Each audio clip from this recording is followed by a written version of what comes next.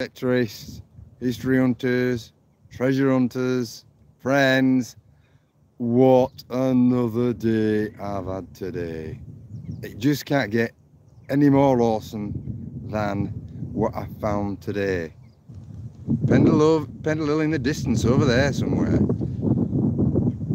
This is where I am now, look.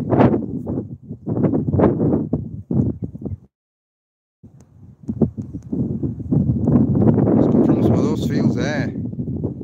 This field here has been more prominent. This field. Wow. And then that's where the Roman fort is. Ta-da!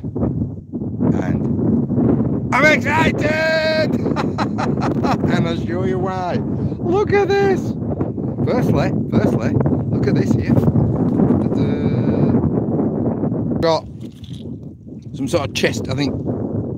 Some, uh, some sort of draw key. 17th century button.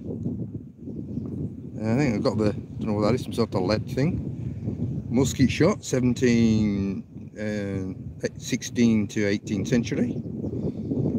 Uh, a couple of uh, pennies, Victorian. A couple of George III uh, half pennies.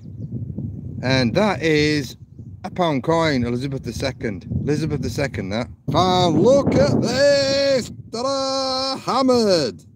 Sixpence of Elizabeth the First! Got the Tudor Rose up there. Tudor Rose up there in that corner. Sixpence. Is that awesome? Or is that awesome?